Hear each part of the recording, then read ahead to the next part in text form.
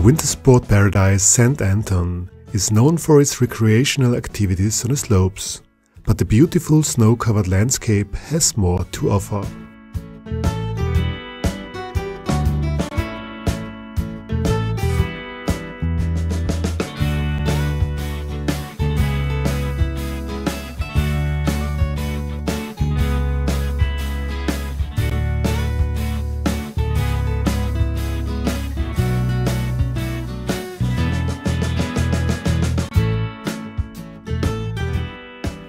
Wir haben bei uns im Gebiet 60 Kilometer geräumte Winterwanderwege.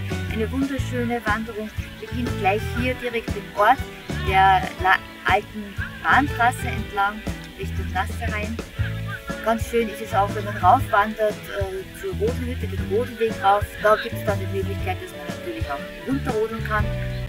Ich persönlich liebe auch die Wanderung rund um den Verwalsee, entlang der Langlaufläufe, See vorbei, vielleicht irgendwo einkehren gemütlich.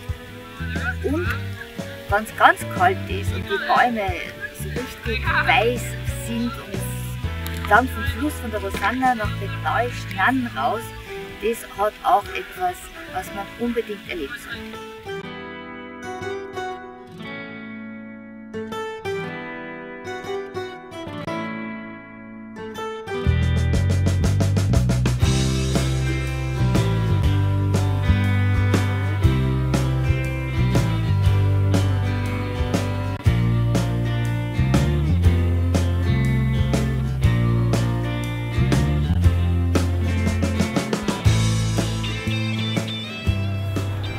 Wer dort wissen möchte, wo kann ich jetzt hingehen, wo kann ich auch den Kinderwagen mitnehmen, wo kann ich den Schlitten mitnehmen, der soll zu uns ins Büro kommen, in den Tourismusverband. Wir haben eine Karte, wo alle Winterwanderwege eingezeichnet sind und wir erklären Ihnen gerne, wo die Wege beginnen.